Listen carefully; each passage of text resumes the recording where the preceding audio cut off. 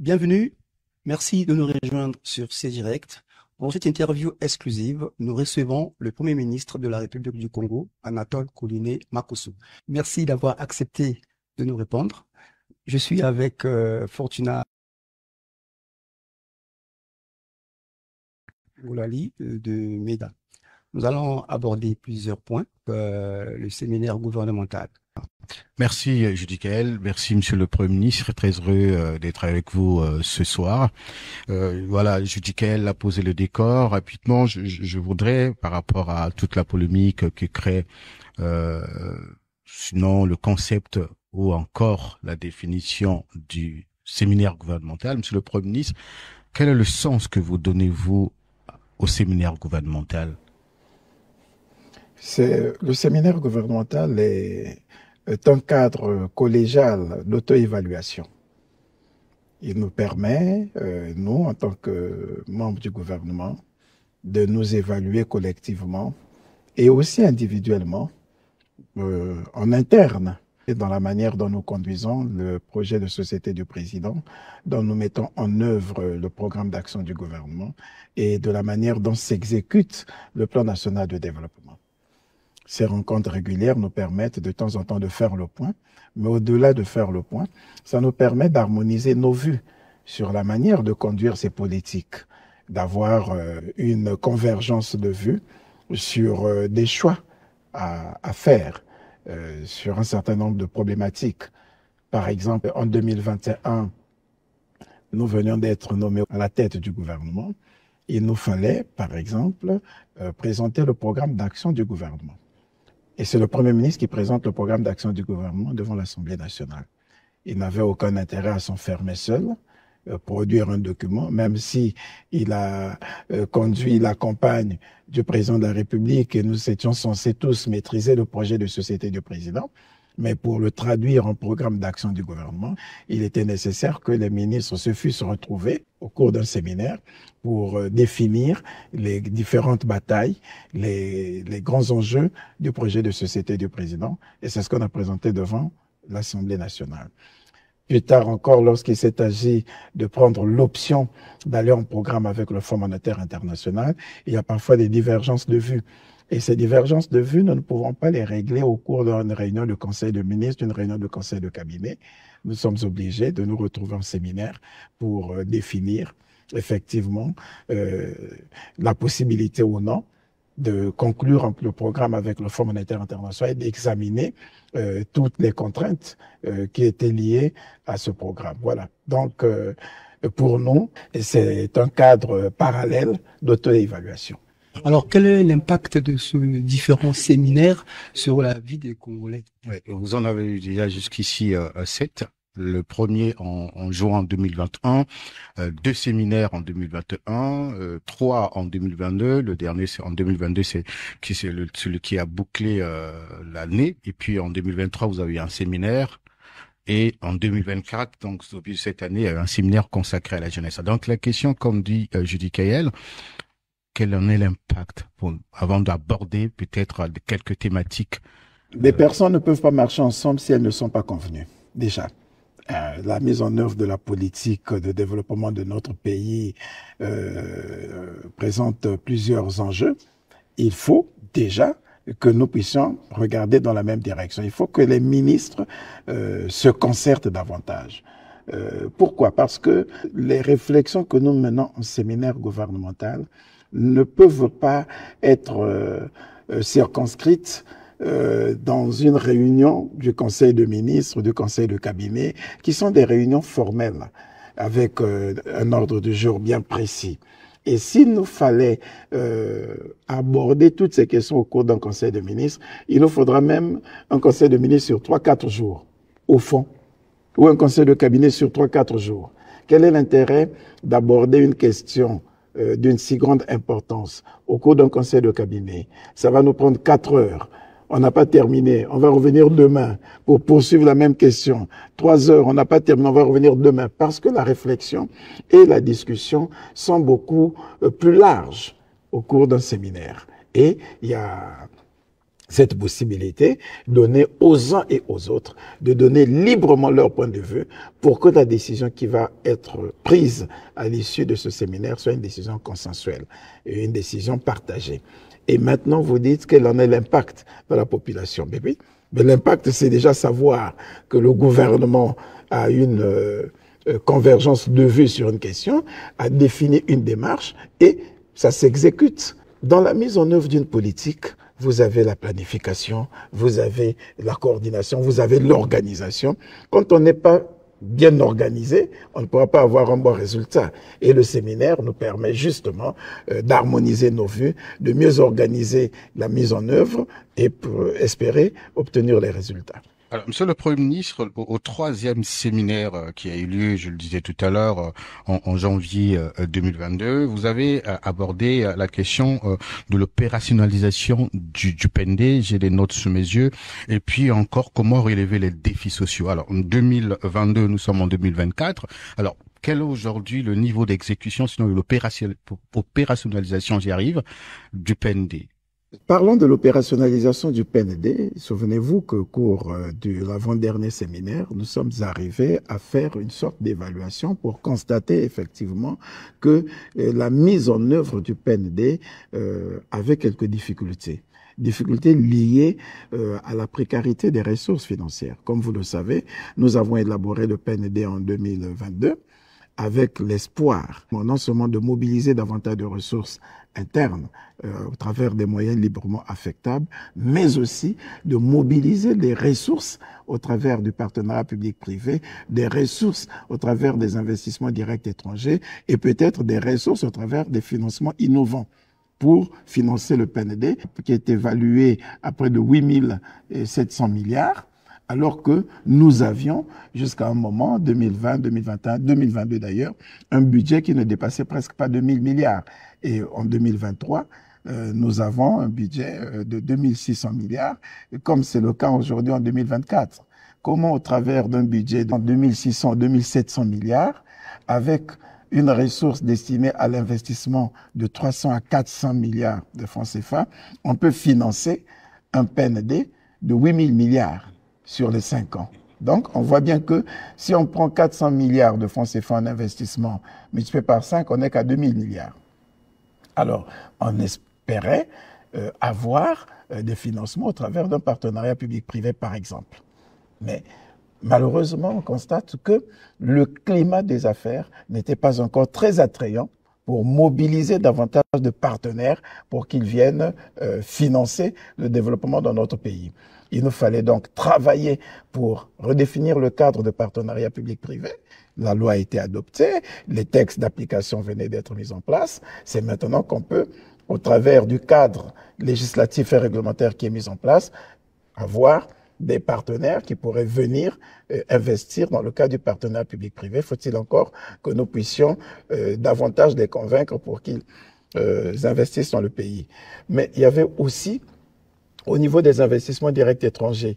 Les investissements directs étrangers, ben, c'est n'importe quel investisseur. Un, partenaire privé qui estime qu'il a des ressources, il veut venir investir au Congo, il voit les projets porteurs de richesse au Congo, il décide de venir investir. Or, nous nous sommes retrouvés quand même dans une situation où nous avons connu le Covid.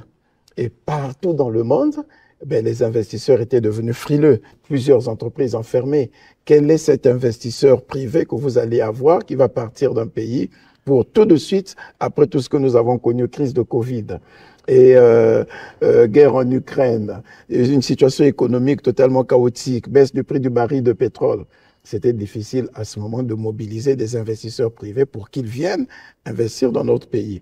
Bon, il faut chercher peut-être d'autres financements. Faut-il recourir à l'endettement? Nous sommes en programme. Quand on est en programme avec le Fonds monétaire international, euh, les sources de financement par l'endettement euh, sont très limitées parce que les conditions de recours à l'endettement sont tellement rigoureuses. Il nous fallait nous-mêmes commencer par réduire la dette de notre pays. Donc, on se rend compte que dans la mise en œuvre du plan national de développement, euh, la précarité de ressources pouvait faire à ce que les ambitions que nous avions lorsque nous avons élaboré le plan national de développement se soient révélées finalement plus grande que la capacité que nous pouvons avoir. Monsieur le Premier ministre, est-ce que vous pouvez être clair Est-ce que vous êtes en train de nous dire que lors de vos séminaires, vous êtes rendu compte finalement de l'impossibilité, peut-être le mot est très fort, de l'exécution de ce PND Pas de l'impossibilité de l'exécution du PND, de la difficulté de réaliser tout ce que nous avons affiché comme ambition dans le PND. Et fort heureusement, notre PND depuis l'élaboration avait prévu des modalités de sa révision lorsqu'on constate effectivement que du fait des contraintes endogènes comme exogènes, il nous est difficile de tout mettre en œuvre, comment restructurer le PND pour qu'on puisse l'adapter aux capacités de mobilisation de ressources? Et c'est ce que nous avons fait au travers de l'avant-dernier séminaire qui nous a permis de réfléchir sur la possibilité de réactualiser ou de réajuster le PND. On s'est dit, faut-il repartir devant le parlementaire pour le réviser? On dit non, c'est un PND, un PND fixe euh, des objectifs avec une certaine ambition. Euh, Recentrons-nous sur ce que nous pouvons faire en fonction de nos ressources. Et c'est ce que le dernier séminaire a fait comme travail, en fonction des ressources, puisque en ce moment, c'est difficile de bénéficier des investissements directs étrangers. En ce moment, c'est difficile de lever des financements innovants à cause des contraintes que nous avons. Et même si on peut le faire, ce ne sera pas à la hauteur de nos besoins. En ce moment, le cadre de partenariat public-privé venait à peine d'être mis en place au plan réglementaire, au plan législatif. Qu'est-ce que nous pouvons faire à partir des ressources disponibles qui puissent satisfaire les besoins des Congolais? C'est ce que justement nous venons de faire au travers du dernier séminaire. Nous avons euh, identifié les projets porteurs de richesse, des projets à effet multiplicateur, des projets qui permettent d'apporter des solutions rapides aux problèmes des Congolais en intégrant l'interpellation du président de la République qui a décrété cette année comme année de la jeunesse. On a donc redimensionné les projets à réaliser pour les deux, pour les deux ou trois prochaines années que nous restent dans la mise en œuvre du PND. Justement, Monsieur le Premier ministre, en parlant de la jeunesse, 100 000 emplois. Nous avons défini la manière dont effectivement nous pouvons créer ces 100 000 emplois. Euh, L'orientation du Conseil de ministres qui a été travaillée au cours du séminaire gouvernemental et que nous avons présenté aussi à l'Assemblée générale du Conseil consultatif de la jeunesse, le programme du gouvernement sur ces 100 000 emplois prévoit que nous aurons 10 000 emplois publics et 90 000 emplois du secteur privé. Les 10 000 emplois publics, c'est pas compliqué. Nous avons commencé déjà depuis des années à recruter à la fonction publique. Cette année, par exemple, pour le, budget 2024, il était prévu 6700 emplois à la fonction publique.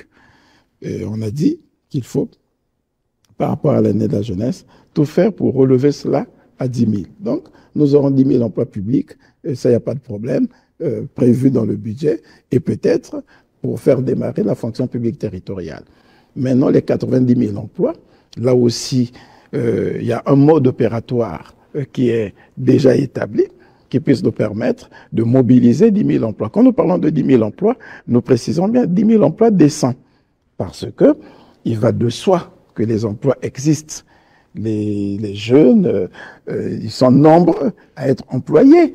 En termes d'employabilité, il y en a qui par eux-mêmes ou de façon informelle ont un emploi mais c'est pas cet emploi que le gouvernement veut euh, promouvoir. Le gouvernement veut qu'il y ait des emplois décents. C'est quoi des emplois décents? Un emploi décent, c'est un emploi rémunéré au minimum au SMIC. Il faut que la personne qui travaille ait un revenu chaque mois et ces revenus doivent être évalués au minimum au SMIC. S'il est payé en dessous du SMIC, on ne dira pas que c'est un emploi décent. Il a un emploi, mais c'est l'emploi que peut assumer le gouvernement. Donc, première condition, il faut que cet emploi soit rémunéré au minimum au SMIC. Deuxième condition, il faut que les revenus, cette rémunération soit justifiée ou déclarée.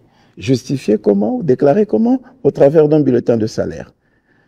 Je travaille, j'ai un revenu, minimum SMIC, ce revenu est justifié au travers d'un bulletin de salaire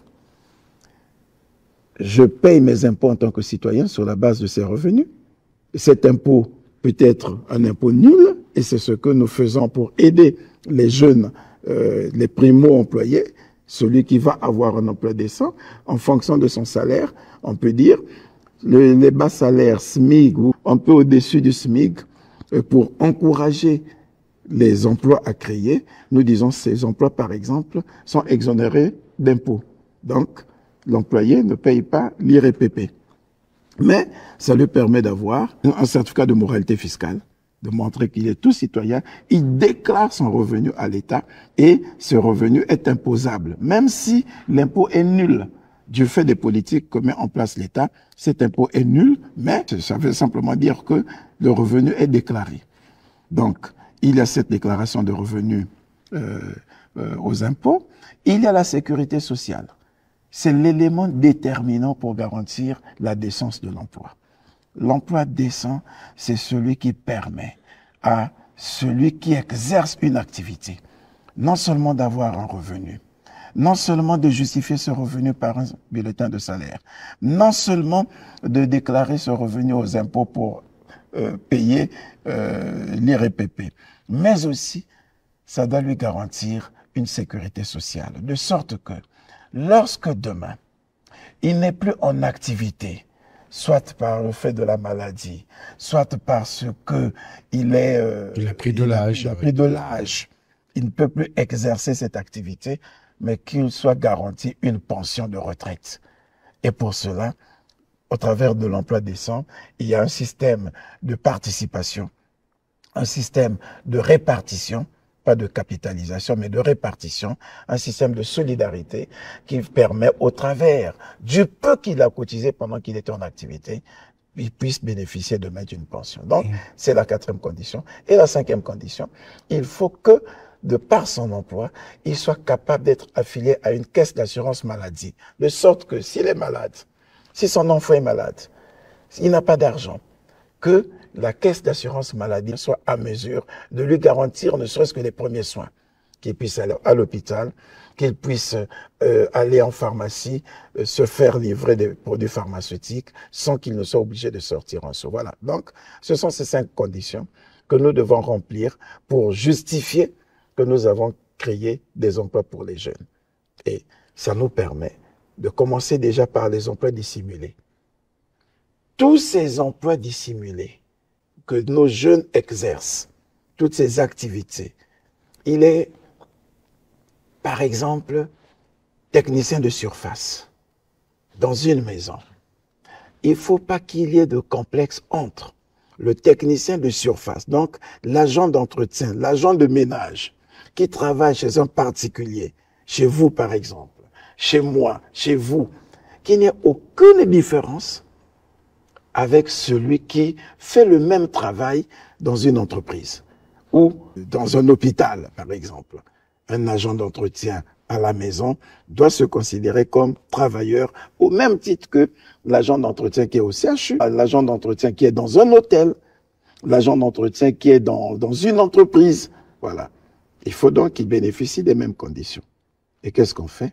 On demandera par exemple à celui qui utilise cet agent d'entretien de faire déclarer cet emploi à l'Agence congolaise pour l'emploi.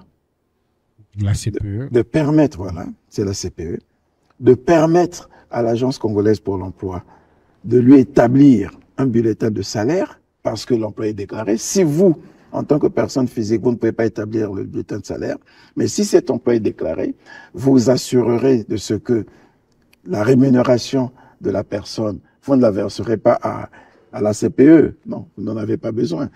Vous avez un compte en banque. L'agent a un compte en banque. Sa ressource est virée dans son compte en banque.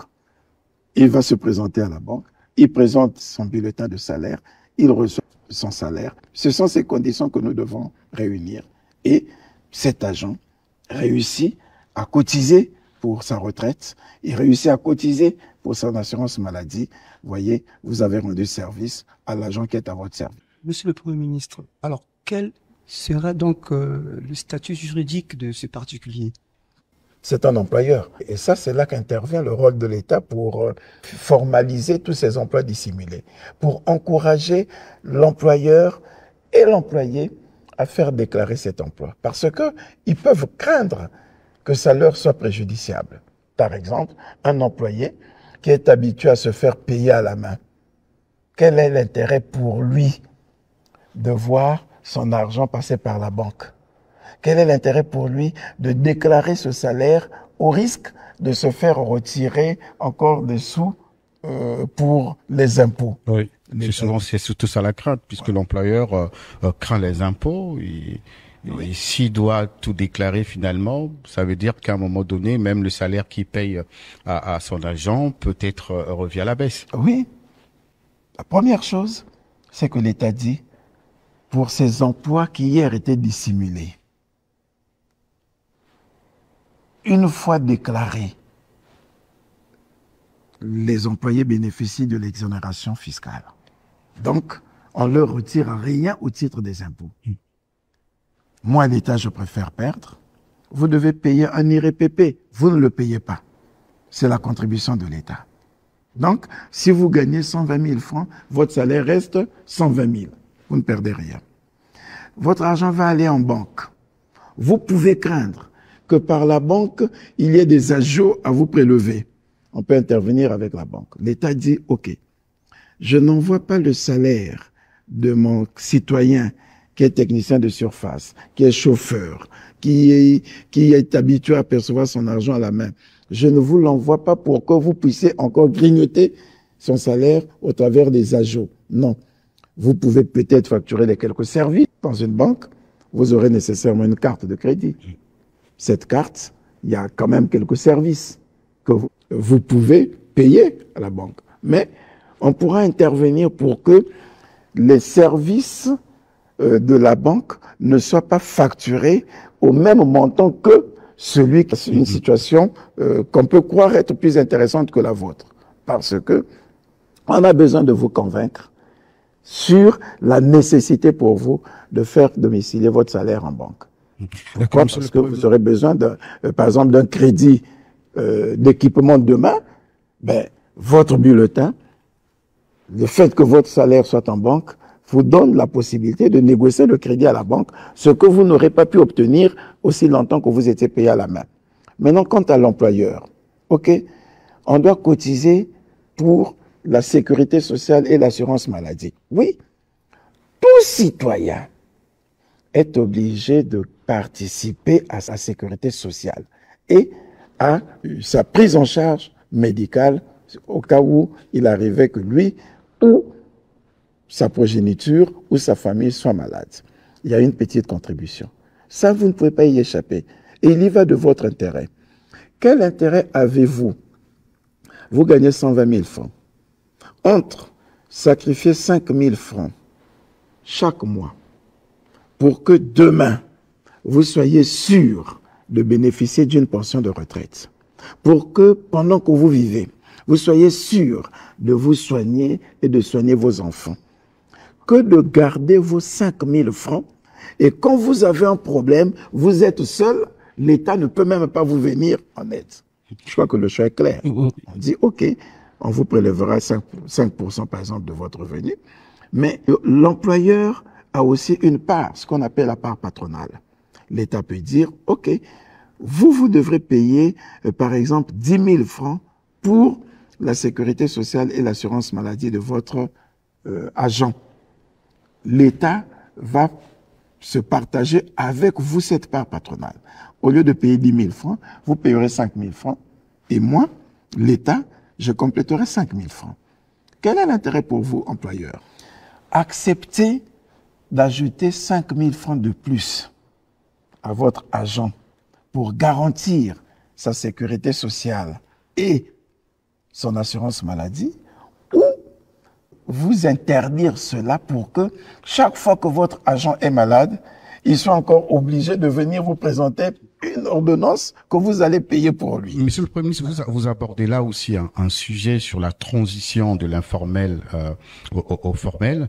Et vous savez que cette procédure n'est pas du tout aisée pour les, les, entrepreneurs. Nous parlons de jeunes, surtout des jeunes entrepreneurs qui ont des startups. C'est très compliqué, même si euh, il y a quelques facilités. Mais comment euh, vous, vous organisez-vous pour faciliter cette transition de l'informel au formel? À la limite, je n'étais même pas encore sur l'informel. sur les activités. puisque nous avons J'étais sur les activités dissimulées. Oui. Donc, Mm. là où il y a une relation de travail, un contrat de travail euh, dissimulé, euh, caché, entre un employeur et un employé. S'agissant de l'informel, l'informel, il est euh, à son compte personnel. Il n'est pas travailleur de quelqu'un. Moi, je suis soudeur. J'ai mon unité de soudure, mais je n'ai aucun statut. Je n'ai pas la carte de commerçant. Je n'ai même pas la carte d'artisan. Je préfère travailler comme ça. Ou encore, je suis maçon. Je n'ai rien. Vous avez deux choix. Le premier choix, c'est faire le toit. Vous avez votre unité de soudure, unité de coiffure, unité de couture. C'est à vous, c'est vous-même qui êtes là. On vous dit, ben, vous pouvez transformer votre unité au lieu d'un simple établissement, au lieu de continuer à travailler comme ça, vous en faites une société unipersonnelle. Si vous acceptez de partir de l'informel au formel, c'est-à-dire vous déclarez soit que vous êtes artisan, soit que vous êtes commerçant, et que votre établissement devient une société unipersonnelle, nous allons vous aider à gérer votre société unipersonnelle. En quoi faisons? Ok. Vous avez peur de vous déclarer à cause des taxes, des impôts, de la parafiscalité. L'État va veiller pour que vous n'ayez pas à payer taxes. Disons quoi concrètement, puisque vous sortiez du septième séminaire avec quelques quelques engagements vis-à-vis euh, de voilà de la jeunesse, ben, que compte faire le gouvernement exactement? On a mis sur la balance emploi et impôts. Si Monsieur Ngolali crée sa petite entreprise et que du fait de cette entreprise, il soit obligé de payer des taxes, on dit ces taxes, vous n'allez pas les payer ou nous allons vous les réduire. Pourquoi? À condition que vous vous considérez désormais non pas comme quelqu'un qui se débrouille, mais comme employé de votre propre structure. Et qu'est-ce qui va faire à ce que vous vous considérez comme employé? On ne sait pas combien vous gagnez. Si par mois, par exemple, vous avez une recette de 300 000 francs, on vous dit, voici le taux qu'il faut pour votre salaire. Sur les 300 000 francs, vous vous donnez un salaire minimum SMIC. 90 000, 100 000, 110 000, 120 000, c'est ça votre salaire. Peut-être 30% de votre chiffre d'affaires. Ça fera votre salaire. Le reste, voici comment on gère une entreprise. Il y a euh, à mettre dans un compte pour que à la fin de l'année, ça vous serve de, euh, de dividendes et ainsi de suite, que vous pouvez réinjecter pour agrandir votre activité ou que vous pouvez continuer à garder pour que demain, si ce mois-ci, vous n'avez pas de clients, mais la ressource que vous avez gardée vous permettra de vous garantir toujours un salaire. Et ce salaire, voilà comment vous pouvez le gérer. Et on met en place des centres de gestion agréés pour vous accompagner dans ce processus.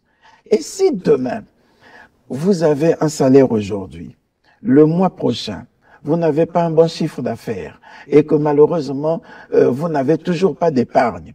Mais comment vous gérez en tant que société? La banque peut vous faire un découvert autorisé qui vous permet de vous garantir ce salaire ce mois-ci. Le mois prochain, vous aurez certainement euh, des revenus, vous aurez certainement un bénéfice et la banque, pendant ce temps, vous aura couvert. Il y aura des centres de gestion agréés pour accompagner ces primo-entrepreneurs ou ces entrepreneurs de l'informel que nous allons faire migrer vers le formel. De l'informel, il y avait ces deux Oui. volets. Le premier volet, c'est celui qui a son unité commerciale et qui fonctionne dans l'informel et que nous allons aider à migrer vers le formel en faisant en sorte que lui-même constitue déjà un emploi et on l'aidera à rendre cet emploi décent. Le deuxième, il n'a pas d'entreprise. Je vends au marché. Je vends du poisson. OK. Tu n'es pas affilié à une entreprise. On aura une agence. Une agence euh, d'intégration socio-économique. Une agence d'accompagnement de l'économie informelle. Moi, je vends. Il faut que nécessairement tu sois affilié à cette agence. Parce qu'un citoyen doit être affilié à un organe. Si tu es élève, tu dépends de l'enseignement primaire et secondaire. Tu es étudiant, tu dépends de l'enseignement supérieur. Il y a un fichier. On peut savoir si on me prend dans la rue, Monsieur Makoso, oui. Qui es-tu? Non, je suis élève. Où est ta carte scolaire Elle est là. On va vérifier quel établissement. Dans tel établissement, on peut me retracer. Tu es commerçant. Monsieur Makoso, oui, tu es commerçant, oui. Où est ta carte? J'ai ma carte de commerçant. On va regarder, on va trouver votre nom enregistré au registre de commerce. Je suis artisan, c'est où Bon, mais toi, tu vends. Tu es au marché, tu es dans un ganda ou je sais pas, quelque chose que tu fais. Si on te retrouve dans la rue, qu'est-ce que tu fais? Tu dis, bon, moi je vends au marché. Je vends des friperies, je vends de la tomate, je vends euh, de la volaille, ainsi de suite. Où est ta carte? Il faut que tu sois désormais affilié. Je suis affilié à l'agence d'intégration socio-économique. C'est déjà bien pour qu'on s'identifie. C'est pour cette raison qu'on a des mécanismes du New, par exemple. Au travers de ton New, on sait ce que tu fais. Et quand tu es commerçant ambulant, on dit, il faut que tu sois affilié à un établissement. C'est l'agence. Comme le demandeur d'emploi qui est affilié à la CPE. Moi, je ne fais rien, je suis demandeur d'emploi. Ah bon? Ton nom c'est, mon nom c'est un tel. Est-ce que tu avais déjà demandé un emploi à la CPE Non. Donc tu n'es pas un demandeur d'emploi. On peut même te prendre pour un vagabond. Voilà. Mais celui qui est au marché, on lui dit, tu es affilié à l'agence. La seule chose qu'on te demande, quand tu vends tous les jours, là, ce que tu as, voilà ce que tu dois verser à l'agence. Si tu dois verser, si c'est 1000 francs, tous les jours tu verses 1000 francs. Si c'est 10 000 par mois, tu verses 10 000 par mois. Le reste de ton argent, tu fais ce que tu veux. Mais, nous, voulons seulement que tu, puisses verser tel montant à l'agence. Ça, sert à quoi ce montant Ça sert de prendre une partie pour ta sécurité sociale et de prendre une autre partie pour ton assurance maladie. Parce que tu es un travailleur indépendant. Comme tu es travailleur indépendant, tu dois être affilié à une agence. C'est cette agence. Quand tu as versé ça à l'agence, ou directement l'agence reverse ça à la Caisse nationale de sécurité sociale. Ce serait difficile pour le gouvernement. Est-ce que c'est pas une manière pour vous de bloquer ce processus de l'informel au formel, puisque si éternellement je dois rester dans l'informel, pourquoi, à, quoi bon euh, rêver être euh, aller dans le, dans le formel? Non, mais vous tu n'es plus dans l'informel. Ok. Quand dès l'instant où tu es affilié à une agence, donc tu es un travailleur indépendant. Ce travailleur indépendant sait que désormais, du fait de mon affiliation et de mes cotisations, si demain mon travail s'arrête du fait de l'âge ou du fait d'une incapacité quelconque, la Caisse nationale de sécurité sociale va me garantir ma sécurité sociale, va me payer ma pension. Ce travailleur indépendant qui est déjà affilié à l'agence, si demain il a son enfant malade, lui-même malade. Il sait qu'il peut aller à l'hôpital, il peut avoir ses soins. Pour nous, dès qu'on a résolu ces questions, oui, on a apporté l'emploi décent à nos compatriotes. Cet emploi décent, il est soit du fait d'une relation de travail entre un employeur et un employé. Cet emploi décent, il est soit du fait d'un travail personnel dans le cas d'une structure organisé, déclaré en société. Cet emploi de sang, il est du fait de ce que c'est un travail indépendant, mais qui me garantit ma sécurité sociale, qui me garantit mon assurance maladie? Donc imaginez le nombre d'emplois qui vont être créés du fait de la migration de l'informel au formel. L'inventaire fait par Madame la ministre de l'économie informelle, déjà depuis Madame euh, euh, Mougani, et qui a été consolidé par Madame la ministre Ingani, avec euh, les assises nationales de l'économie informelle, révèle que nous avons au moins 60 000 unités économiques dans l'informel. Dans l'informel. Ouais. Si de ces 60 000 unités, nous réussissons à toucher ne serait-ce que 30 000 en les faisant migrer de l'informel au formel, vous avez déjà 30 000 emplois. Et qui seront accompagnés par l'État au travers des centres de gestion agréés qui vous aideront à avoir un business plan, qui vous aideront à faire votre comptabilité, à déclarer votre bilan, donc à vivre comme toute société. Et Monsieur le Premier ministre, je crois que vous êtes clair à ce niveau. Nous avons vu euh, la CPE euh, euh, ouvrir ou encore qu'il va il va ouvrir son, son, agence en France. Et le ministre euh, de l'emploi a reçu des chefs d'entreprise il y a quelques jours. Ils ont posé la question puis avant que vous bouclez sur sur la, le transfert de l'informel à l'inform au formel.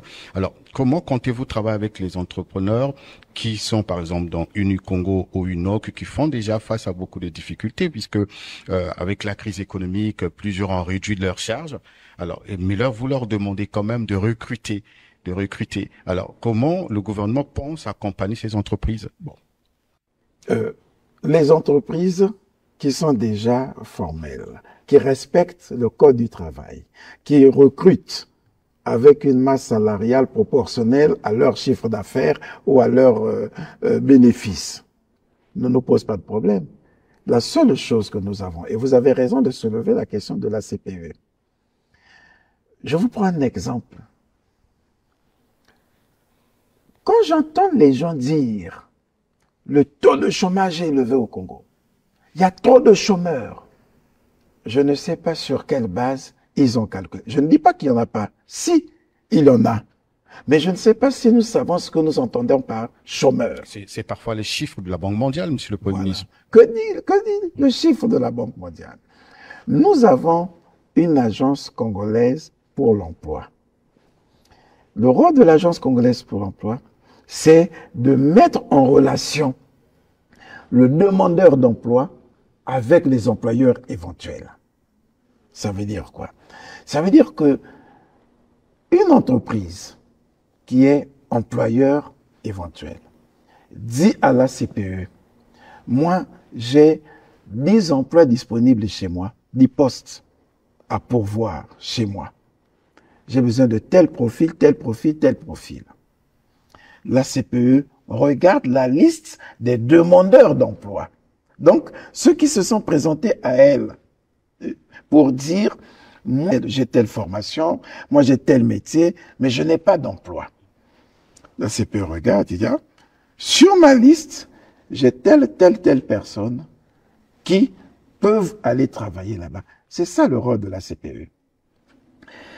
Qu'est-ce que nous avons constaté Prenons le cas en 2023 on a eu 13 000 emplois disponibles. Donc, vous voyez parfois des appels à candidature, des offres d'emploi dans les journaux.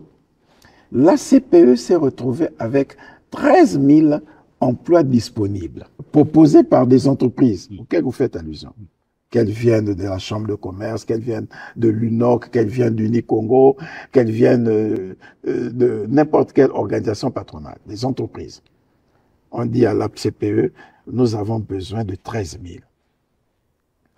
On a ouvert ces postes à la candidature. On a pu caser 9 à 10 000. Ça veut dire qu'il reste combien de postes d'emploi disponibles? Environ 3 000. Pourquoi ces postes sont disponibles? Parce que soit que les Congolais ne se sont pas présentés à la CPE pour déclarer que je suis demandeur d'emploi.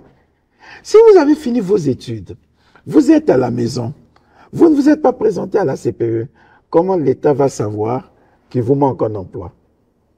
Il faut donc que vous vous déclariez. Et quand vous vous êtes déclaré à la CPE, on peut savoir combien de demandeurs d'emploi nous avons. Or, à la CPE, l'année 2023, on n'a même pas atteint 20 000 demandeurs d'emploi. Ils étaient peut-être autour de 15 000. Alors que nous avons 1 500 000 jeunes qui ne sont ni à l'école, qui ne travaillent pas, qui ne sont pas à l'université. Donc on peut dire 1 500 000 jeunes qui auraient pu être demandeurs d'emploi. Mais à la PCE, nous n'avons pas 20 000 dossiers de demandeurs d'emploi. Et combien même on a eu 13 000 postes disponibles, on n'a pu caser que 10 000. Donc les 3 000 là traînent encore. Pourquoi? Peut-être parce que les profils qui sont demandés par les entreprises ne correspondent pas à ceux qui demandent l'emploi. C'est pourquoi vous avez vu parfois des entreprises qui ne trouvent pas sur place ici. Aller à l'étranger. Voilà. les travailleurs qui correspondent à leur profil vont recruter depuis l'étranger. Et le ministre de la Jeunesse, en charge de l'emploi, qui a vu cette difficulté pour les entreprises d'avoir localement des agents correspondant au profil recherché, a été obligé d'ouvrir un bureau de l'ACPE en Europe, en France, pour que vous qui êtes à l'étranger, si vous avez besoin de venir travailler au Congo, en fonction des profils que vous avez là-bas, présentez-vous au bureau de l'ACPE en France. Vous, les entreprises qui voulez venir travailler au Congo ou qui êtes déjà au Congo, qui ne trouvez pas sur place les profils que vous recherchez, nous pouvons vous aider à les avoir depuis la France. C'est pour ça que ce bureau est ouvert. Voilà. Et ceux qui sont ici, s'il y a encore des postes disponibles qu'on ne retrouve ni ici, ni en Europe, ça va faire l'objet d'une formation qualifiante ciblée. Je prends comme ça un exemple. Si une entreprise a besoin de tracteuristes, nous a fait la demande et qu'au Congo, on ne retrouve pas le nombre de tracteuristes recherchés, ça nous interpelle. C'est pourquoi le ministre de la Jeunesse a à la fois l'emploi et la formation qualifiante. Ça lui permet de suivre le jeune de bout en bout. Ah, moi j'ai mes emplois, mais il me manque des profils. J'organise tout de suite une formation qualifiante sur les tracteuristes. On a besoin de ceux qui ont fait chaudronnerie quelque part. Des postes sont disponibles. Mais chez moi, je n'en ai pas les dossiers des chaudronniers. J'organise tout de suite la formation qualifiante des chaudronniers. Voilà. Donc, c'est ainsi que nous allons avoir la maîtrise des demandeurs d'emploi, des emplois disponibles, des gens à former en termes de formation qualifiante pour occuper les emplois disponibles si nous n'avons pas de ressources. Et c'est de la même manière que nous allons agir pour faire migrer les jeunes de l'informel au formel ou donner un statut à ceux qui sont ambulants, à ceux qui ne peuvent pas s'organiser en entreprise, en société, mais qui doivent être affiliés à l'agence d'intégration socio-économique. Très bonne euh, stratégie euh, du gouvernement, Monsieur le Premier ministre. On va aborder un autre sujet qui euh, touche les Congolais. Les Congolais souffrent, Monsieur le Premier ministre, au problème du courant et de l'eau. Alors, pourquoi cette instabilité? La vétusté des équipements, il faut le dire. Qu'il s'agisse de l'électricité, qu'il s'agisse de l'eau, L'instabilité de l'électricité tient à la vétusté des équipements de transport de l'électricité et de l'eau. Le Congo a fait de gros efforts en termes de production d'énergie, en termes de production euh, d'eau potable, notamment avec, euh, s'agissant de l'énergie, les barrages hydroélectriques que nous avons réhabilités, construits, Imbolo, Liweso, euh, réhabilité Mukukulu, ainsi de suite, euh, du Djoué, et puis la production de l'électricité au travers de la centrale électrique de Njeno, la centrale électrique du Congo. Donc, on a fait un grand travail en termes de production d'électricité. On peut dire que de ce point de vue, nous n'avons pas de problème. Le problème se pose en termes de transport de l'électricité et de distribution de l'électricité, donc de commercialisation de l'électricité. S'agissant du transport de l'électricité, oui, euh, euh, nous avons une ligne pour partir de Ngeno pour Brazzaville, par exemple. Ce n'est qu'une ligne. Euh, nous sommes en train d'étudier la possibilité de construire une deuxième ligne et euh, des appels à manifestation d'intérêt ont été lancés, puisque, comme vous le savez, sur ce domaine, de la même manière que nous avons euh, libéralisé le secteur de l'électricité dans le domaine de la production, nous devons libéraliser aussi le secteur de l'électricité sur le plan du transport. Donc, il y a un appel à manifestation d'intérêt pour permettre aux gens non seulement de gérer cette ligne qui existe, mais aussi de, de construire peut-être une autre ligne qui permettra un meilleur transport de l'électricité. Mais qu'il s'agisse de l'électricité, qu'il s'agisse de l'eau, la meilleure façon de faire face à cela, c'est d'affronter la réalité des prix du service public d'électricité et de l'eau. Je me permets toujours de le dire pour que euh, les compatriotes comprennent que euh, malgré les efforts que peut déployer le gouvernement, s'il n'y a pas une participation citoyenne, s'il n'y a pas une prise de conscience citoyenne, nous passerons le temps à nous plaindre des mêmes problèmes. C'est la même problématique que nous avions avec euh, le carburant. Voyez, nous payons le litre d'eau à 0,130 francs. En termes de centimes, c'est 13 centimes même pas un franc le litre d'eau. L'exemple est que les Congolais qui achètent le litre d'eau à 13 centimes chez nous, à l'État, vous avez par exemple une bâche à eau. Quand il y a de l'eau, vous avez rempli votre bâche et vous commercialisez cette eau aux citoyens de votre quartier, à vos voisins un bidon de 25 litres est vendu à 125 francs. Quand les gens viennent, vous voyez les mamans avec des bidons, chez quelqu'un qui a un forage ou qui a une bâche, qui a une forte capacité d'eau, le bidon de 25 litres est vendu à 125 francs. Ça veut dire quoi? Ça veut dire que, donc le litre est vendu à 5 francs. Voilà. Le litre est vendu à 5 francs pour quelqu'un qui a payé 13 centimes le litre. Si je dis aux citoyens, pour vous permettre d'avoir l'eau potable, sans être obligé d'amener le bidon chez le voisin, que vous ayez votre eau à la pompe, acceptez seulement. Ils envisageaient là l'augmentation. Euh... Je discute, je pose le problème. Je n'ai encore, je n'ai pas dit que l'État envisageait, je pose le problème aux citoyens. Si on dit aux citoyens, pour nous permettre d'avoir de l'eau potable, au lieu de payer 13 francs le litre, payant ne serait-ce que 1 franc le litre, ça t'évitera d'aller payer 5 francs avec le litre avec un bidon de 25 litres, je paye 125. Il va réagir parce que, ah non, l'État fait augmenter les choses. Mais qu'est-ce qui est mieux pour le citoyen?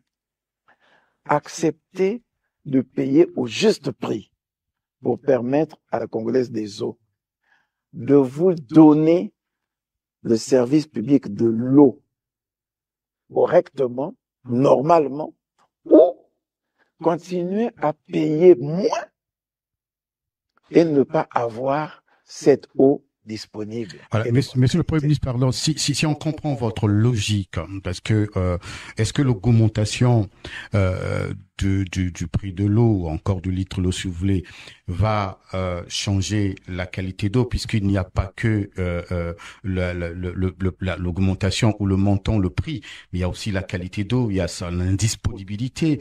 Il y a aussi, tout à l'heure, vous parlez du réseau de distribution. Le, le, le ministre d'État Jean-Jacques Bouillard, euh, quand il est encore délégué général aux grands travaux, avait ce projet de vouloir réhabiliter tout le réseau de transport d'électricité et d'eau. je crois que même les appels d'enfants lancés à cette époque-là, ça fait près de 15 ans, mais jusqu'à aujourd'hui, rien n'a été fait. Est-ce que vous pensez qu'ici aujourd'hui c'est pas que jusqu'à aujourd'hui rien n'a été fait. Non, mais je parle bon. en termes de, de, réseau de transport oui, parce que il, il, est toujours caduque. On parle même en ce qui concerne. Mais non, on le, le rénove au fur et à mesure. Mais pas au rythme qu'on aurait souhaité pour résoudre définitivement ce Même en ce qui concerne euh, la Congolaise des eaux, des eaux, il y a même les réseaux qui datent d'avant même l'indépendance du Congo et qui sont qui sont jusqu'aujourd'hui fonctionnels. Mais est-ce que vous pensez que si le Congolais vous disent, Monsieur le Premier ministre, on accepte d'augmenter, est-ce que l'augmentation va améliorer Mais c'est à ça que ça sert. C'est à ça que ça sert justement. Comment voulez-vous qu'une entreprise puisse renouveler son réseau quand elle travaille à perte? Déjà, avec la manière dont nous avons géré euh, ces sociétés, on a des effectifs pléthoriques avec une masse salariale euh, très élevée, des charges sociales très fortes. Ces sociétés travaillent à perte. Elles ont des charges de près d'un milliard de francs CFA tous les mois pour une ressource qui n'atteint pas 700 millions de francs CFA, la Congolaise des eaux. Comment voulez-vous qu'elle puisse supporter les charges et financer euh, toute la logistique liée à la production. Est-ce que le gouvernement, pour, pour protéger la population, ne peut pas appuyer ces sociétés? Alors, le gouvernement l'a fait pendant longtemps. C'est ça la fameuse subvention. Chaque mois, le gouvernement mettait à la disposition de la LCDE 1 milliard 500 Mhm. chaque mois. Mhm. Et pourquoi vous avez arrêté? Mais parce que il y a quand même beaucoup d'autres charges. Parce que malgré la subvention, partie- rien n'a changé. Elle non, avait mais changé. non seulement que rien n'a changé, Mhm. on a fait partie de la société d'EPIC à une société anonyme. Donc, la c'est une société anonyme. La société doit être capable de produire sa propre richesse, de s'autofinancer et de reverser même les dividendes à l'État. Il n'y a pas une autre stratégie pour euh, pallier Mais la cette stratégie, situation? la stratégie, c'est permettre aux citoyens de payer le produit, le service public au prix qu'il faut. C'est tout, c'est cette Voilà. stratégie. Monsieur le Premier Et ministre, quand on a payé Mm. le service au prix qu'il faut, la société peut avoir de l'argent pour. Il n'y a pas que les citoyens, le privé. Je dis, je, je, je dis mea culpa. L'État doit ses propres consommations aux mêmes entreprises. On a accumulé, non seulement, outre le fait qu'il donnait un milliard cinq cents tous les mois, mais ça aurait marché si, en même temps, Mhm. l'État payait ses consommations. Or, l'État ne payait pas ses consommations. Un milliard cinq cents tous les mois. Et depuis qu'on a coupé la subvention d'un milliard cinq cents, les consommations n'étaient toujours pas payées. Souvenez-vous par exemple que ce n'est qu'en février-mars 2023 que nous avons été obligés de payer ce que l'État doit à EKRC et à LCDE du fait de la gratuité offerte aux populations pendant la période Covid de l'électricité et de l'eau. On avait pris une mesure pour dire euh, l'électricité et l'eau pendant la période de confinement, les citoyens ne payaient pas et que c'est l'État qui devait payer.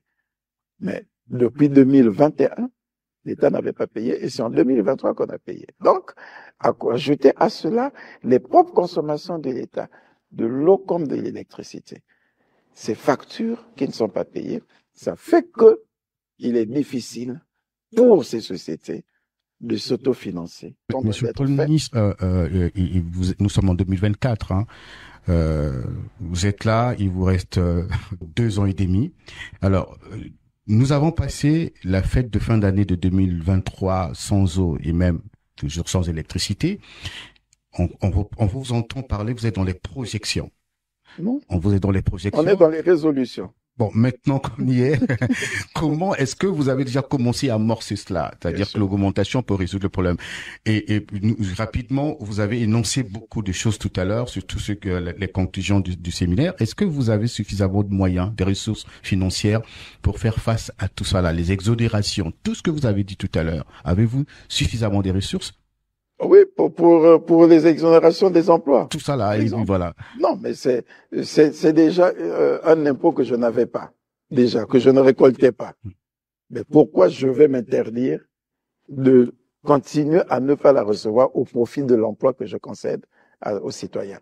Et autre chose, justement, lorsque chacun de nous aura payé le carburant, l'électricité, l'eau, au prix qu'il faut, l'État pourra maintenant disposer des ressources qu'il affectait à des subventions de ses produits, il aura des ressources pour financer les autres politiques sociales, de l'enseignement, de la santé, de la sécurité sociale, de l'accompagnement à l'employabilité des jeunes. Voilà. C'est ça le pacte social qu'il nous faut euh, conclure. Ils, sont trop exigeants ces jeunes puisque lors de à la clôture de, de pendant euh, leur assemblée générale, les jeunes ont quand même émis plusieurs préoccupations. Hein.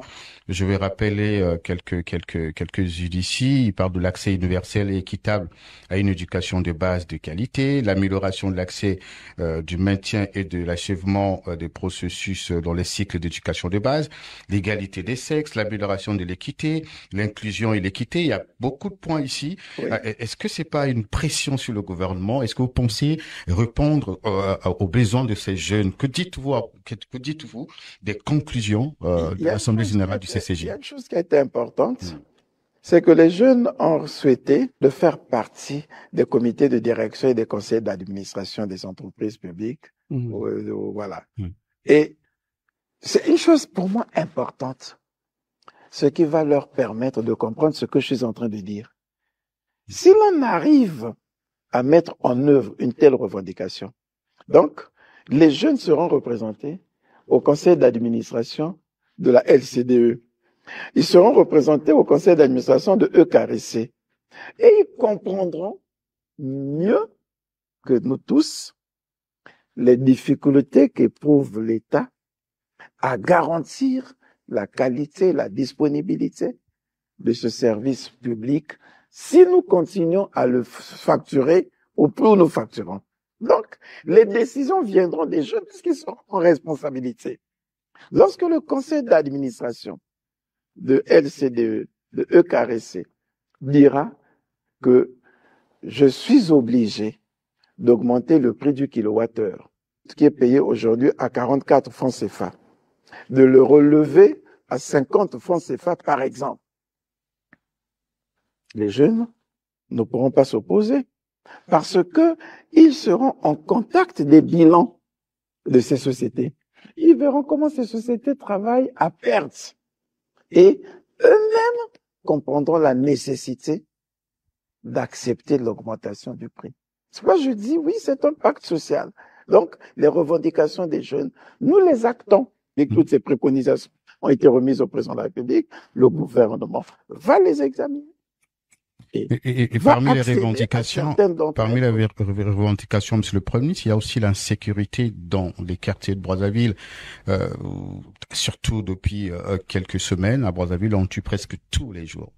Euh, ce phénomène bébé noir prend de l'ampleur. Les, les, parents sont terrorisés dans les quartiers. Alors, est-ce que le gouvernement a, a mesuré aujourd'hui, au niveau où nous sommes, l'ampleur de la situation? Est-ce que le président de la République nous avait déjà interpellé à cette occasion et vous savez que tout de suite après, nous avons mis en place euh, euh un programme de réhabilitation des centres d'éducation. Il n'y en a plus jamais eu dans ce pays, des centres de rééducation, de réinsertion des jeunes.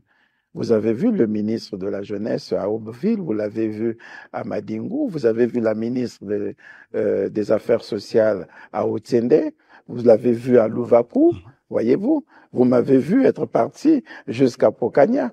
Donc, euh, le programme qui est mis en place consiste justement à accélérer la fin des travaux de ces structures et à accueillir les jeunes qui sont déjà identifiés ceux qui sont dans les commissariats, ceux qui sont à la maison. Ça tarde à venir pendant ce temps on tue, monsieur le Premier, puisque au Pocania, euh, euh, au Béville, vous en parlez depuis pratiquement un an ou deux ans. Non, ça fait un an, c'était en 2023. De ces jeunes euh, existent depuis, depuis plusieurs années, depuis plusieurs décennies, mais pendant qu'on tue à Brazzaville, euh, je le disais tout à l'heure, que c'est pratiquement tous les jours, que fait le gouvernement dans les médias Pour compléter, euh, Fortuna, quel est le bilan que vous avez par rapport à ce phénomène Est-ce qu'il y a un bilan que vous avez eu à faire actuellement?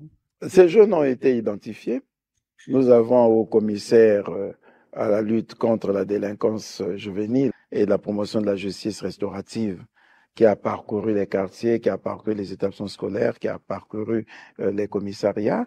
Vous avez le ministre en charge de la jeunesse de l'éducation civique, de l'emploi et de la formation qualifiante, qui a fait le même travail. Vous avez le ministère de l'Intérieur et de la Sécurité qui a fait le même travail. On peut circonscrire, on peut aujourd'hui dire euh, que nous avons tout casser euh, euh, autour de 1500 jeunes en, en conflit avec la loi. On a vu la police nous présenter à la télé près de 500 jeunes interpellés. Que sont-ils devenus? Ils sont toujours en prison?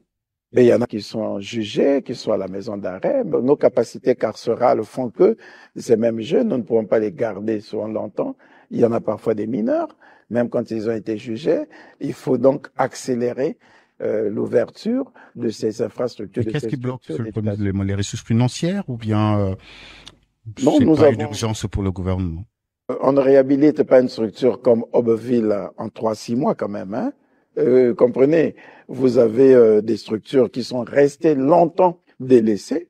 Et quand on décide de les réhabiliter, même si vous avez toute la ressource aujourd'hui, vous ne pouvez pas les, les, les, les, achever en moins de trois mois, en moins d'un an. Donc, euh, nous pouvons rassurer les populations que ces structures, tout au moins euh, Aubeville, euh, les travaux sont très avancés. En attendant, on a essayé de mettre au point euh, une structure de transit en attendant que les jeunes aillent à Aubeville. Mais là, ce n'est que 300. À Aubeville, la capacité d'accueil est de 300-400. Je vous dis, ils sont à près de 1500. Donc, l'idéal serait que nous accélérions en même temps les autres structures pour que nous soyons à mesure euh, déjà euh, de, de récupérer ne serait-ce que le millier qui a été identifié de les y installer. Mais on va pas seulement les prendre, c'est pas une prison là-bas, même une prison, il faut les prendre en charge. Il faut réunir toutes les conditions, les équipements de formation. Il y en a qui doivent, euh, ils doivent apprendre un métier là où ils seront. Tout le programme que nous sommes en train de mettre en place, y compris le programme de recrutement dans les emplois publics, vise justement à privilégier les recrutements. Parce qui- que l'une des causes, c'est le, le, le- le manque d'emploi, c'est la pauvreté aussi de, de ce phénomène. Oui. Monsieur le Premier ministre, les jeunes sont nombreux euh, sur les réseaux sociaux, mais très nombreux. Euh, et ils iraient non maître. Euh, on ne peut pas passer euh, une semaine ou un jour à Brazzaville sans que vous soyez attaqué sur les réseaux sociaux. C'est ça vous plaît, monsieur le Président Et vos collaborateurs Qu'est-ce que parfois sont ciblés. Mhm. Alors, euh, comment est-ce que vous percevez, comment vous ressentez cela? Ouais. au quotidien pratiquement Mais on est attaqué par vous. On est attaqué par vous. Les réseaux sociaux en question, c'est pas vous. Les chaînes des réseaux sociaux, c'est pas les il y a vôtres, des chaînes Il y a des... ils sont réellement crédibles et professionnels et des jeunes qui tiennent leur leur leur leur Je sais même pas s'il y a des chaînes qui sont crédibles et professionnelles dans les réseaux sociaux. Parce que les réseaux sociaux se caractérisent par euh, des attaques tous azimuts, euh, euh, sans éthique. euh, euh, ils, ils peuvent euh, entrer comme ça dans la vie privée des gens. Ils peuvent euh, euh, soulever des problématiques chrysogènes qui peuvent même conduire à une euh, à, à- à- des guerres fratricides. On Mais parlait d'éthique, vous faites Comment Comment, devrait être euh, sur les réseaux sociaux et, et, et se caractériser, comme vous le dites, par une éthique euh, Mais tout dépend des sujets que l'on soulève. Une chaîne sur les réseaux sociaux, euh, j'ai l'habitude de vous suivre, mais parfois quand on voit vos commentaires, il n'y a même pas, euh, il, il- il n'y a même pas euh, le minimum d'exigence du professionnalisme du média, journaliste, notamment Ça faut que le dites, Monsieur le Premier ministre. mais hein. je, mais- mais je le sens. Euh, notamment Formation. l'équilibre d'information. Je ne sais pas si ces chaînes euh, sur les réseaux et qui nous accablent de leurs informations tous les jours, si ces chaînes sont reconnues, enregistrées, est-ce qu'elles sont déclarées? Ce qu'on Le appelle. Conseil supérieur de la liberté de communication. Alors, voilà. Mais est-ce que vous avez revu la loi, puisque la loi de la presse au Congo ne tient pas encore compte des médias en ligne? C'est ça Oui. le vrai Et problème. donc, on ne les aurait pas laissés euh, évoluer. Comment Mais ça, ça puisque ces médias en ligne utilisent notre espace qui est euh, les réseaux sociaux. Oui. Donc, à un moment donné, je crois que le gouvernement devrait revoir la loi Mais pour réellement médias en réguler ce ligne secteur. passent leur temps, passent leur temps à vendre la délation, passent leur temps à vendre l'insulte aux citoyens. Ils vendent la délation, ils vendent la désinformation, ils vendent l'insulte aux citoyens. Quelqu'un, il se lève un matin, il identifie un acteur, un citoyen normal, il publie une information, vraie ou fausse, il l'a pas vérifié, c'est pas son problème. Demain, il se réveille, il vit normalement sa vie. Il est peut-être content, peut-être parce qu'il est payé au travers des vues. Je sais pas si ça rapporte quelque chose. On peut inventer quelque chose. troubler l'opinion, troubler la quiétude, et voilà. Est-ce que c'est pas, ça vous permet pas, Monsieur le Premier ministre, ces, ces, ces attaques ou encore les critiques sur les réseaux sociaux, de mesurer un peu l'impact de votre action? Est-ce que vous ne prenez pas ça comme des réclamations ou encore euh, les préoccupations de, de, de, de vos co- compatriotes ne sont Quelle est pas l'information qu'un compatriote citoyen peut donner dans l'insulte, dans la diabolisation, dans la délation. Quelle est l'information qu'un compatriote va donner? Comment voulez-vous qu'on rende crédible une information noyée dans l'insulte, noyée dans la diabolisation? Comment on peut la prendre en compte? Noyée dans le mensonge Je Comment on prendre peut un la prendre en exemple, compte? Monsieur le un exemple euh, de la diabolisation euh, Mais ou ce- encore euh, ce qui est dit de nous. Un tas de mensonges. On décide comme ça, non? Coliné Makosso a sorti un milliard de francs à la fonction, je sais pas quoi, au trésor public pour son voyage. On dit ça. Coliné Makosso, c'est le plus gros tribaliste que euh, le Go- le Congo n'ait jamais connu. Bon. Il a dans son cabinet, euh, je sais pas quoi, euh, tout, tout, tout, je sais pas quoi, toute son ethnie. Bon. Vous ne- vous ne vous retrouvez a pas dans- vous ne vous retrouvez pas dans, dans Qu'est-ce que ça vous fait, Monsieur le Premier ministre, d'entendre tous ces allégations? L'avantage, euh, chez moi, j'ai mis un mur entre la gestion de l'État, la gestion de l'administration et la gestion de la délation. Ce qui vient des réseaux sociaux, ça peut servir, c'est aussi utile, vous avez dit qu'il y a parfois aussi de bonnes choses, ça peut servir d'élément d'alerte pour dire, ah, il y a telle situation, comme qui dirait, dans un kilo de mensonges, On alerte sur l'affaire Figa, c'est peut par les réseaux sociaux euh, aussi. comment? L'affaire Figa, c'est par les réseaux sociaux qu'il y a eu une alerte. Ça peut être une alerte. Ouais. Et moi, l'État, je saisis l'alerte, je la mets dans le couloir administratif et je gère ma question selon les règles du droit administratif, du droit tout court, de la loi. C'est tout. Je ne vais pas subir l'influence de ce qui se dit là-bas. C'est Non, une vous reproche d'être- très très dur avec les, les internautes, euh, Non, euh, je suis pas très dur très avec eux, et que je surtout communique souvent les avec eux. compatriotes qui, Je qui sais, vous c'est- attaquent depuis l'Europe parfois ou encore qui, C'est qui ce qui depuis m'amène à l'Europe. respecter l'humain. Sinon, je ne serais pas en face de vous. Je lis vos publications. Je, je- j'écoute. Même quand j'ai pas envie d'écouter, on me les envoie dans ma boîte. J'aurais pu dire, mais ce gars, je ne lui dirai pas bonjour. Le gouvernement patrouche. Depuis qu'il est là, on ne voit rien. Séminaire sur séminaire. Vous attaquez, vous attaquez. L'expression de la liberté, non, la presse euh, ou encore la liberté d'expression simplement. sur le mensonge. Vous voyez le risque que vous faites courir au pays. Les déclarations que vous faites, les analyses que vous faites, frisons même le tribalisme, l'incitation à la haine, euh, l'intolérance politique, euh, la discrimination. Vous- identifiez comme ça des acteurs, un tel est de tel pays, je sais pas quoi, de telle ethnie.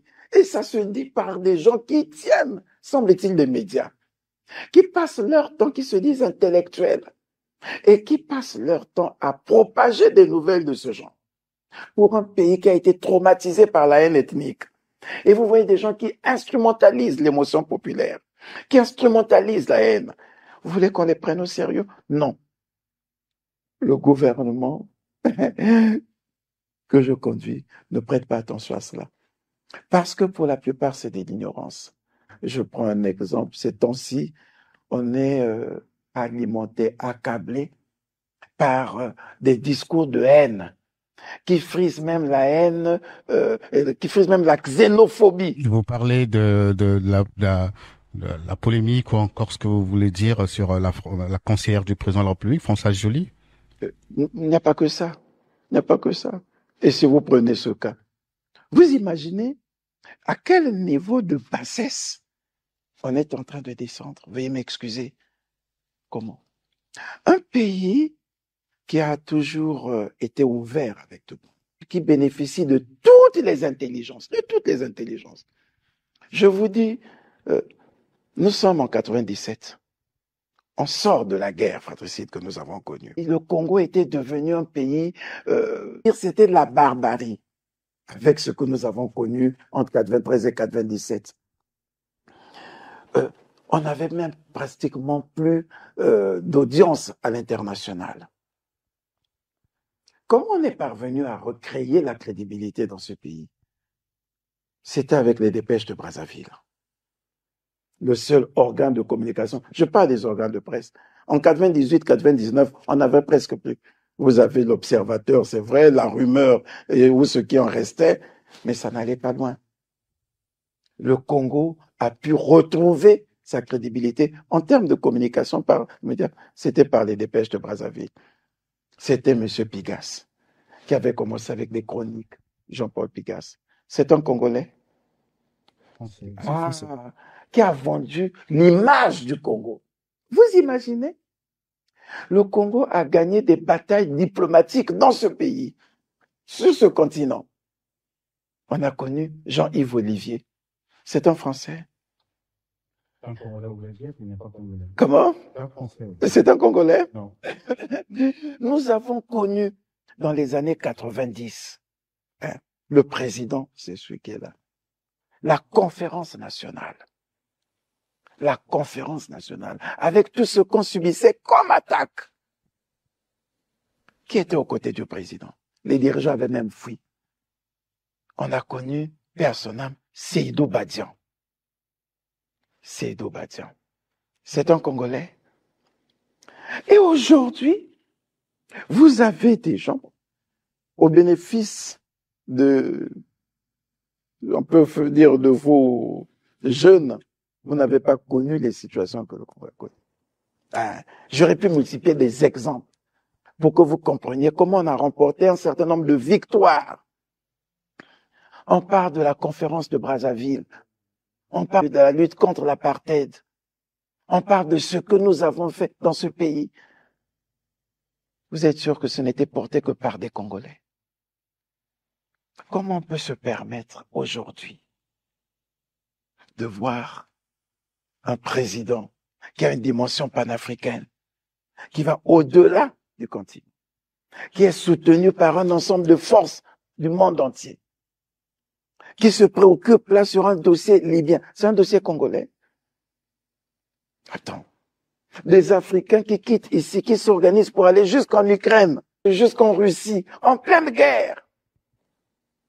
Ce sont des dossiers congolais. Et qu'on dise non, on réduise l'apport des cadres à des raisonnements euh, qui frisent, euh, non, simplement la, la xénophobie, la bassesse, non.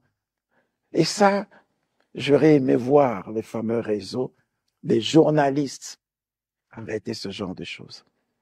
Il s'agit d'un pays qui a produit un certain Paul Kaya, qui, après avoir exercé ici, a été accueilli en Côte d'Ivoire et a contribué au développement de l'économie de la Côte d'Ivoire, au point d'avoir été élevé par le président Oufouet au sein du Conseil de l'Entente. On avait appris que Paul Kaya là-bas était euh, un, pion du régime congolais. Lui qui a même déjà assumé les fonctions de ministre ici à l'époque. Mais euh, non loin de nous, autour de nous, je peux citer le cas de Maxime Ganzion, actuel conseiller du président, mais qui est resté pendant longtemps conseiller du président Omar Bongo au Gabon jusqu'en juin 2009. Alors, a-t-on appris euh, les Gabonais s'agitaient, criaient au motif qu'on aurait mis aux côtés du président Bongo euh, un Congolais qui plus est un parent du président Denis Sassou Nguesso. Non, nous devons éviter ces raccourcis. Nous devons éviter ces comportements réducteurs, euh, retardateurs, voilà, qui déshonorent notre pays. Maxime Ganzion a conseillé le président gabonais, il a conseillé le président brésilien, il a conseillé le président russe. Alors, qu'est-ce que les autres diraient de ce travail qu'il aurait fait à leur côté? Que voulez-vous qu'on dise? Si c'est ça la ligne des réseaux sociaux, c'est à ça que ça sert, on vous regarde, on vous laisse faire. Salissez-nous comme vous voulez nous sommes en responsabilité, nous continuons. mais je ne sais pas si ça valorise les auteurs. Ça diabolise peut-être nous, les victimes, mais je ne sais pas si ça honore les auteurs. Merci, Monsieur le Premier ministre. C'est la fin de cet entretien exclusif. On se retrouve dans Quelle un fin prochain numéro.